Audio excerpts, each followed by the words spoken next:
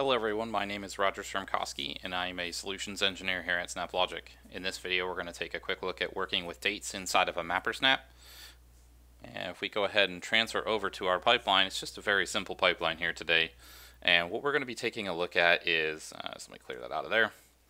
We're going to be taking a look at reading some Salesforce data. In this case we're reading some contact information.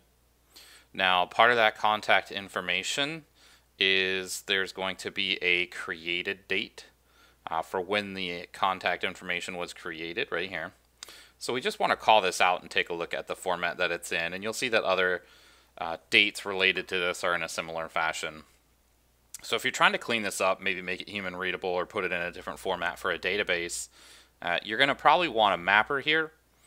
And if I just go ahead and you, you can see on the left that I've only chosen a certain number of fields to pull in. So I'm going to close this drawer just to make things a little easier and I'll close the target schema since I don't have anything downstream of the mapper. So there's a couple things here that we're doing. Uh, one, you can see we're pulling in first name. We are cleaning up the output of the JSON a little bit. I'll show you what that looks like downstream when we validate. Um, but really what we're doing here is this, this working with this date. So let's talk about what we're doing in the various steps, okay? The first thing that we need to do is we need to parse this date. And the reason that we need to do this is that JSON itself does not have a date type, right? So we're just talking about strings, integers, and nulls usually for JSON. So we need to get it into a date type, otherwise it's a string. Once it's in a date type, we can use a SnapLogic's expression language, and we can use to local date time string. Now this is where we can do some pretty cool stuff. Inside of the parentheses, for the function, we can open up some curly brackets and we can include the time zone. In this case, I'll do US Eastern. And then we can specify the format we want it in.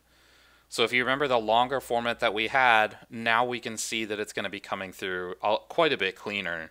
And if you wanted to change anything around that, you know, maybe make it uh, something like just the last two or, you know, something along those lines. Maybe you want to include seconds, right?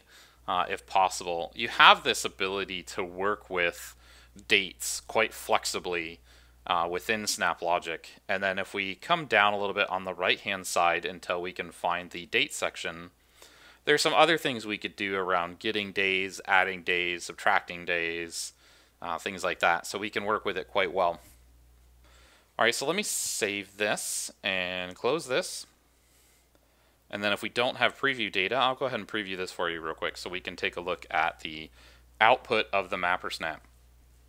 Uh, specifically, what we're going to be taking a look at is we're going to see we've got our, our cleaned up a little bit more uh, user-friendly. You know, if you wanted to output this to something like a CSV or an email in a table format, you can clean up these things instead of having, uh, you know, like camel case.